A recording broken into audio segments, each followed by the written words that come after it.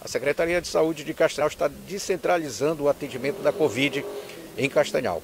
E agora nós estamos aqui no bairro de Bom Jesus, na escola Cacilda Posidônio, onde um desses centros de referência de atendimento à Covid está sendo inaugurado. Um centro de referência Covid, né, que deixa a gente, enquanto cidadão, muito feliz.